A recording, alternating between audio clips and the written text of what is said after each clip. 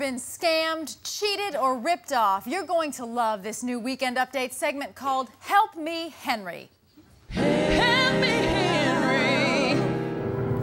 Please welcome Weekend Update consumer advocate Henry Payne.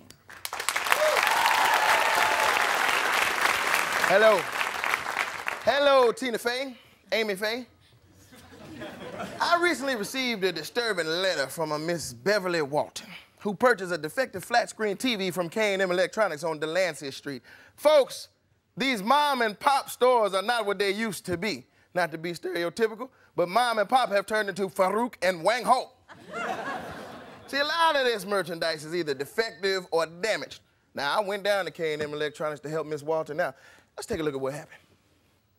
Now, this guy's been giving Beverly Walton a hard time. Sir, you have been selling defective TVs. You're not to touch me with basketball bat. No? Who are you?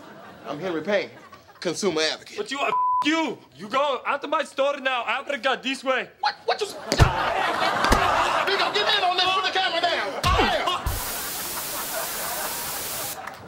Okay, that was uh, kind of tough. But as you can see, Henry Payne is not to be played with. In my country, I am dentist. Shut up! I'm Henry Payne saying, don't make me come after you. Wow, Henry, did, did you have to do that? Couldn't you have just called the Better Business Bureau or something? Uh, Tina, who needs the Better Business Bureau when you've got the Better Bat Bureau? You know what I'm saying? you know what I'm talking about, Tina? Yeah, okay, so, so did you get that lady a refund? Hell yeah, I got a whole lot of other stuff too. Here, here's a surge protector, and I got a, a nice police scanner right here, and uh, some blank video cassettes. Ooh, yeah, I'll take those. Okay, we'll take that stuff, but that's enough. Henry Payne, everybody. Right.